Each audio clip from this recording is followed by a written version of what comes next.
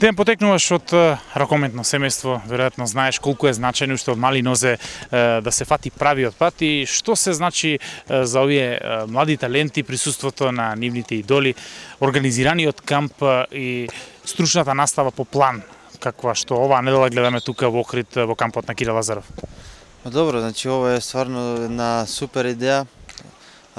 До сега во Македонија ретко се дешава вакви работи и капитенот стварно направи еден правилен избор со овој камп и со тоа што собра многу деца овдека да тренираат, да можат да се дружат со нивните идоли, да научат некои нови работи.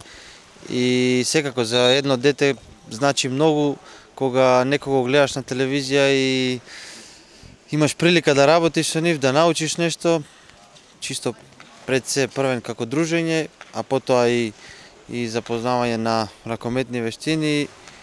Uh, мислам дека као деца тоа и многу значи. Јас бев исто дете, многу знаев кога вака ќе вид, некого гледаш на телевизија и после ќе го видиш во живо е стварно друго и мислам дека имаат поголем мотив така за работа.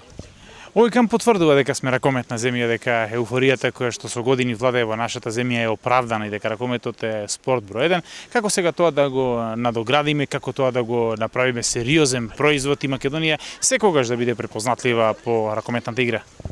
Па да знаеме дека без работа нема ништо, значи пред се мора да се работи и не само Кире и и други ракометари бивши мора да организираат овакви работ, клуб, ракви кампови, исто така клубовите да се ангажираат не само во Скопје, да биде во, во сите градови, низ цела Македонија, да можат децата да тренираат, да напредуваат и се надам дека што повеќе деца ќе тренираат, ќе има се надам дека ние сме мала земја релативно, но мислам дека доволно ракометна да излезат нови генерации кои ќе ги наследат овие сега кои се репрезентативци и мислам дека Македонија го заслужува тоа.